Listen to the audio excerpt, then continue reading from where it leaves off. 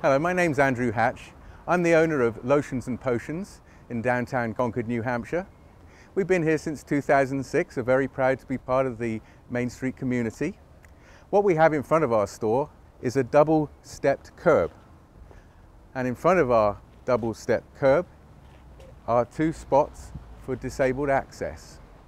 Unfortunately, the people using these spots, they have to come out of the rear of their vehicle and then get into a wheelchair and then access the ramp around the back of their vehicle coming into oncoming traffic, which is clearly inappropriate for somebody with disabilities, let alone an able-bodied person.